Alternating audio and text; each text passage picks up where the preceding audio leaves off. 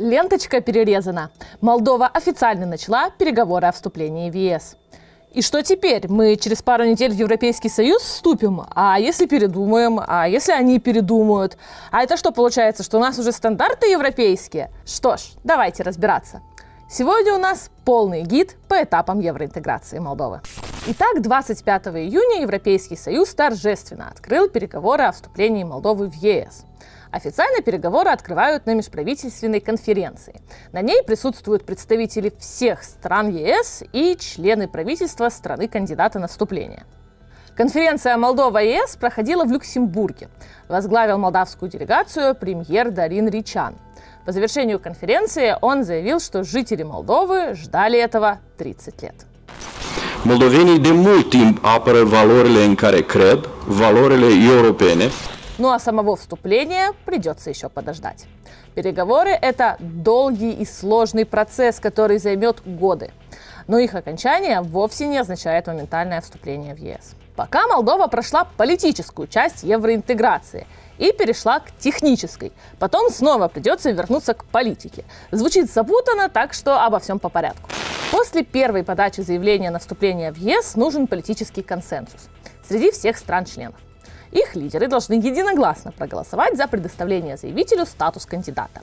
Потом точно так же единогласно надо проголосовать за начало переговоров о вступлении в ЕС. Это все политическая часть вопроса, которую Молдова успешно прошла. А вот дальше начинаются переговоры. Перед переговорами на межправительственной конференции представляют переговорные рамки. Это документ, определяющий цели переговоров, принципы их ведения, этапы, условия и прочее период переговоров страна-кандидат работает над внедрением европейского законодательства и европейских стандартов в своей стране. Власти страны должны соблюдать эти самые переговорные рамки. По сути, это не столько обсуждение условий, сколько время активного внедрения европейских стандартов. В случае Молдовы переговоры будут проходить по 33 главам европейского законодательства.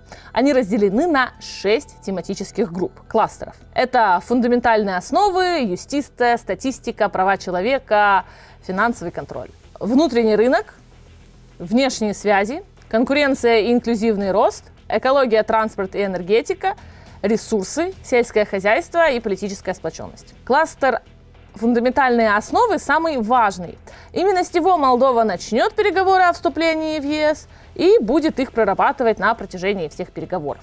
В этот кластер входят такие больные для Молдовы темы, как судебная система и основы права, правосудие, свобода и безопасность, госзакупки, статистика и финансовый контроль. Сложности добавляет и то, что ни одну из открытых глав переговоров нельзя считать пройденными, пока не закроются главы судебная система и основные права и правосудие, свобода и безопасность. Каждый год Еврокомиссия будет публиковать отчет с прогрессом Молдовы по каждой главе переговоров.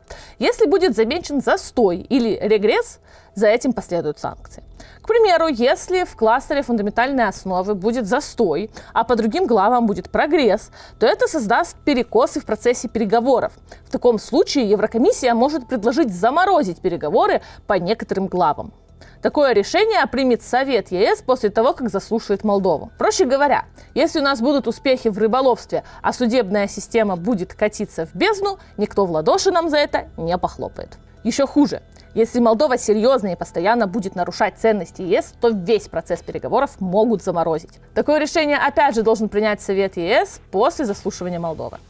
В любом случае, что отдельные главы, что переговоры в целом, конечно же, можно будет разморозить после того, как Еврокомиссия вновь зафиксирует прогресс в реформах. Как мы видим, начало переговоров о вступлении в ЕС вовсе не говорит о необратимости евроинтеграции. Самый яркий пример, которым очень любят пугать молдавские евроскептики – Турция. Стамбул начал переговоры о вступлении в ЕС в 2005 году, а в 2015 году президент страны Реджеп Таyyip Эрдоган заявил, что Турция больше не интересуется евроинтеграцией.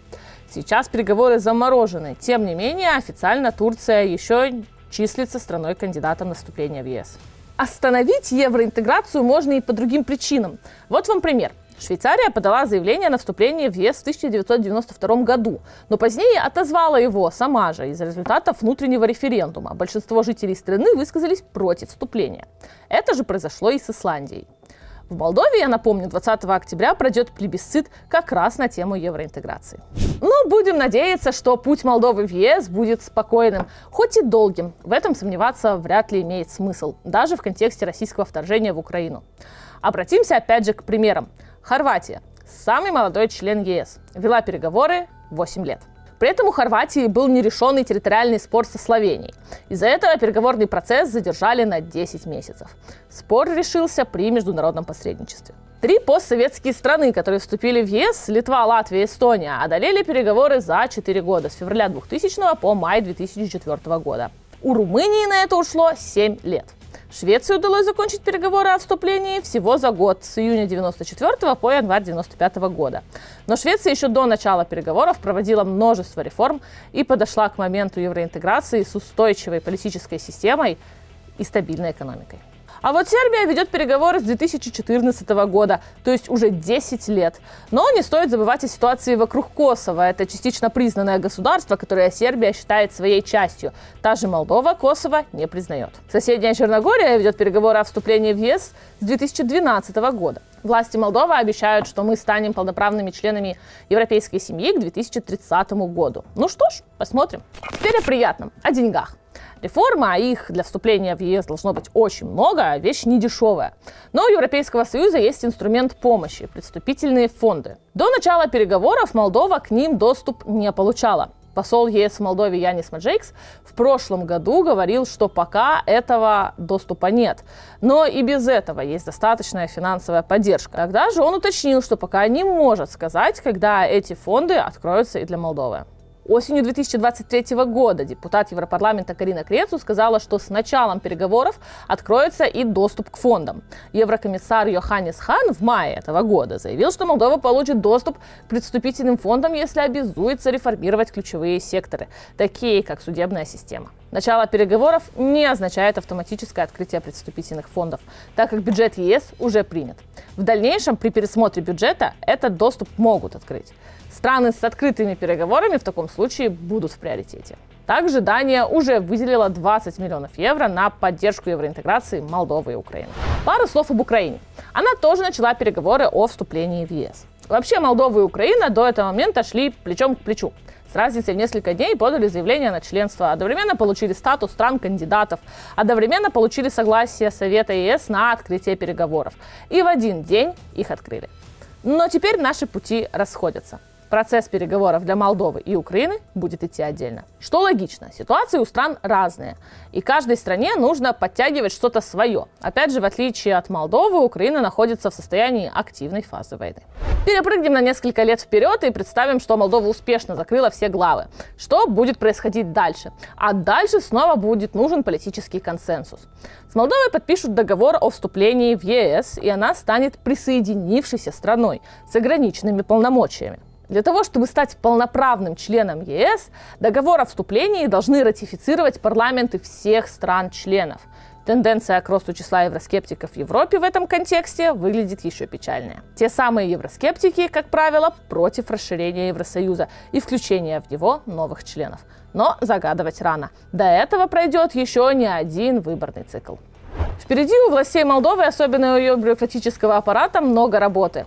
Работы прибавится и у нас. Поэтому следите за нашим сайтом Newsmaker MD, нашими соцсетями. Мы есть в Ютубе, Фейсбуке, Телеграме, Инстаграме и ТикТоке. Ну а если вы хотите поддержать качественную журналистику в Молдове и нашу работу, то это можно сделать с помощью Patreon и единоразовых выплат. Все инструкции у нас на сайте. До новых встреч! Власти страны должны